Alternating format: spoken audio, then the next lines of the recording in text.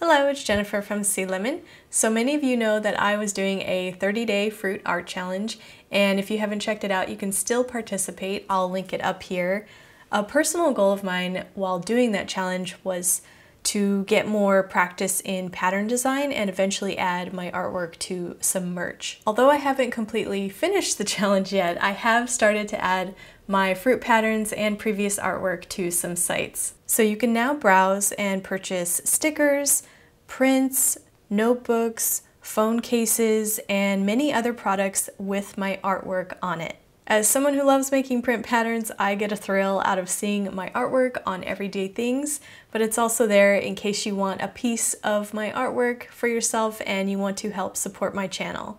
I'm testing out three main print-on-demand sites. They all have different items for sale and I'll gradually add more artwork to them, so follow me or heart my shop for updates.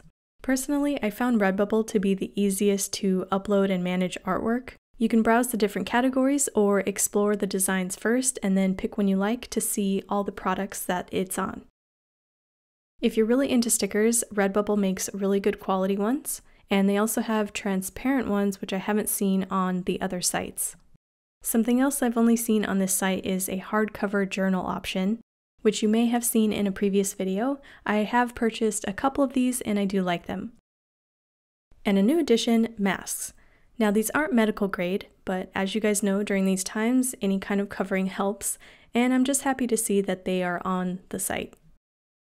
I did just purchase the cheetah pattern mask, and when it arrives, I'll let you guys know how I like it.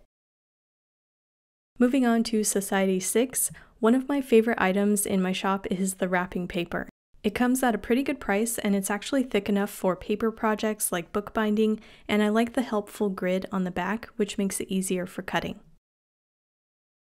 Society 6 also carries some of the same other items that you'll see on the other sites, but I feel like they have more homeware items and gift ideas.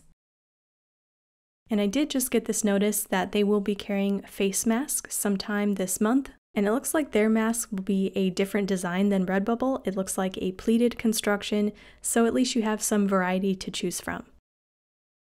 Now onto Teespring. This is actually the only shop I've been able to integrate into my videos because they have a partnership with YouTube. And you may have already seen this in the shelf below my videos.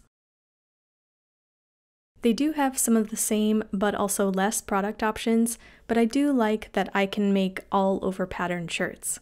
For some reason, their site has been a little bit difficult for me to upload to lately, maybe it has too much traffic, so check back soon to see more design options.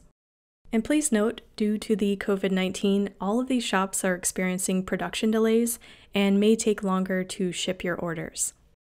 FYI, in case you're not familiar with these kind of sites, unlike my Etsy shop and Patreon rewards, these items don't come directly from me.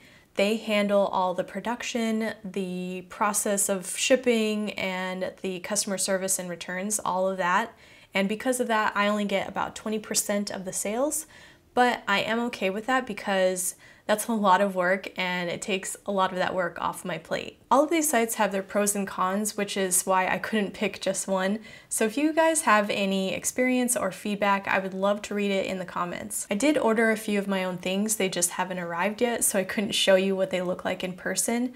Obviously, I can't buy all of my own stuff to test out, so if you do end up purchasing any of my stuff through these sites, please DM me, tag me, and let me know how the quality is. Given the recent events and what's going on in the country right now, I want to donate in some way, and the best I know how to do that is through my art. So, through the month of June, this month, any purchases or profits made of my artwork through these sites will go directly to black causes. I'm also doing the same thing in my Etsy shop any profits from my Doodlebook downloads this month will be donated. And to really go all out, I'm trying to make this video at least 10 minutes long, so YouTube will allow me to put more ads on it. Then I will donate all the ad revenue from this video. For the rest of our time here, you can relax and watch some of my art process. I've included some time lapses. You can rewatch this video, share it to increase the ad revenue, and I encourage you to check out the links in the description below for more ways on how you can help Black lives.